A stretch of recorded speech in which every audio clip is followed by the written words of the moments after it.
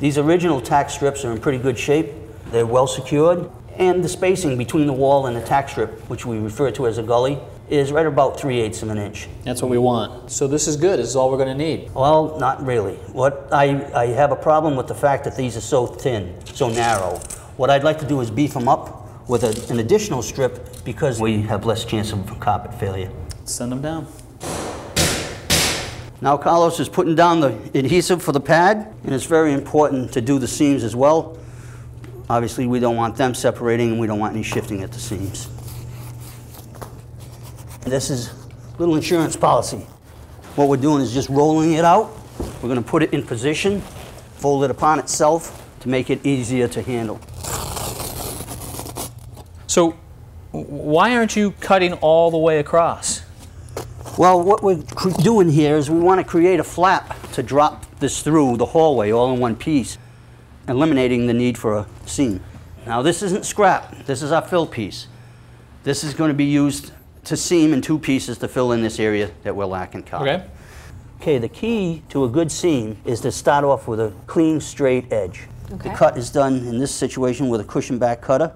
The way it's designed, it has a little plowing front end and a blade that can drop down from the center. Okay. What I do is I put it back into where I just separated the yarn and I follow it with that plow with slight pressure, keeping the knife straight. We don't want any angle to the edge. Okay. So as we go, we create this perfect seam edge. Oh, yeah.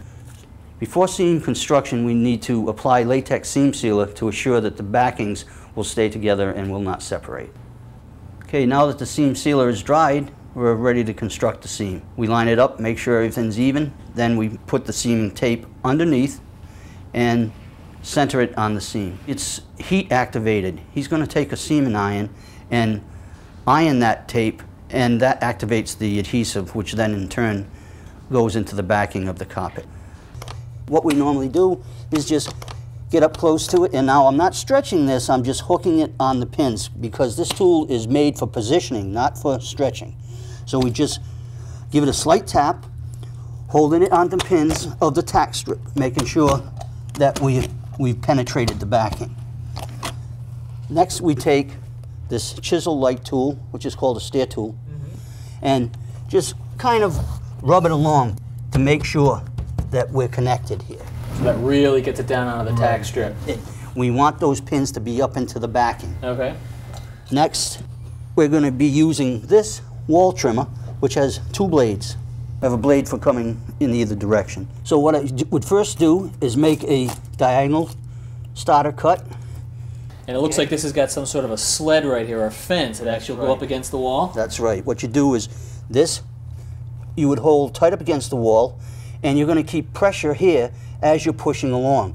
And that blade will be doing the cutting for us. So we just move it right along. Make short work of it. Right. So how do you uh, treat this sort of rough edge right here? I use my knee kicker once again, positioning it with this space right in front of the tack strip. Yeah. And just slightly push it, take my stair tool, and tuck this into that gully. Okay, what we're doing now is moving the power stretcher into position. So power stretcher, How does this thing work? What we have here is a heel up against that wall we just secured, Yep. So braced up against the far wall. right? Bunch of tubes, holes here for adjustment. Correct? And we have a ratcheting tube that allows for easier motion. And in this end, In this end here, what we have is a head with the teeth similar to the head on the uh, knee kicker, so it but grabs a the much much wider, so we can do Yeah. a bigger area. So Okay. what we do is we make sure we got a good grip, pull slightly but evenly, and you can feel by the tension how much you've got. you've really stretched this carpet tight. Yes, and the tack strips are holding everything in place.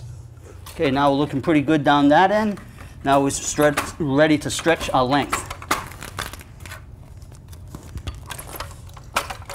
So uh, we need to secure this down. Right, we'll just finish securing this hallway area. Uh, stretch our last two remaining walls. We'll be moving furniture back in shortly.